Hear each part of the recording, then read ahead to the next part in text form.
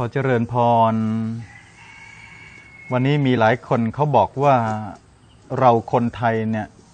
ถูกล้างสมองให้รักกษัตริย์ และกษัตริย์ก็ล้างสมองเรา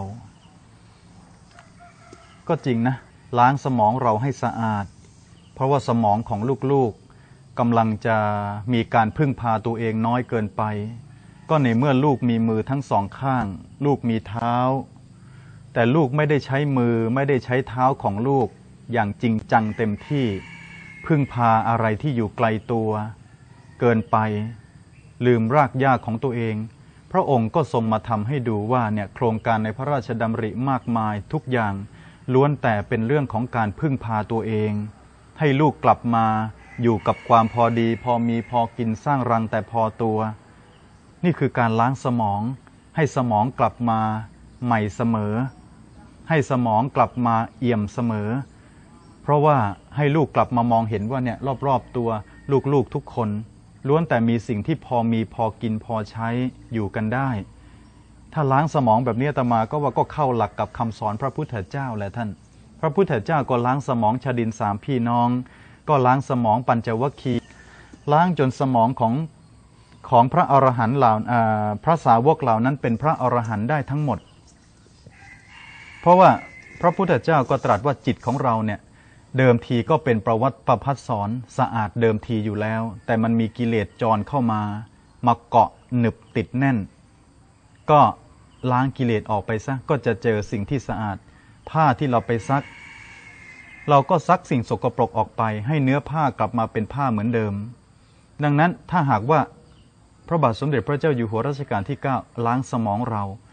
ก็ถูกแล้ว พระองค์ก็ล้างสมองเรามาตลอด เพื่อให้สมองเรากลับมาสู่สภาวะของความพอดีพอมีพอกิน พระองค์ไม่ได้ป้อนข้าวเราตลอดทั้งพระชน พระองค์ไม่ได้ป้อนข้าว แต่พระองค์ทรงสอนวิธีทำนา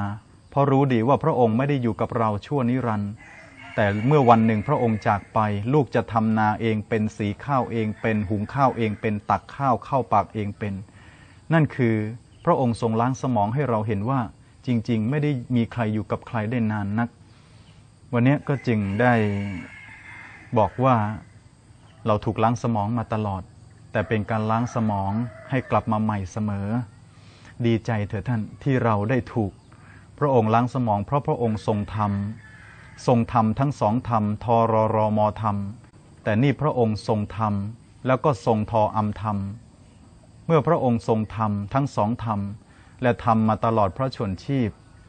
ก็จะผิดอะไรที่พระองค์เอาธรรมมาล้างสมองเราให้สะอาด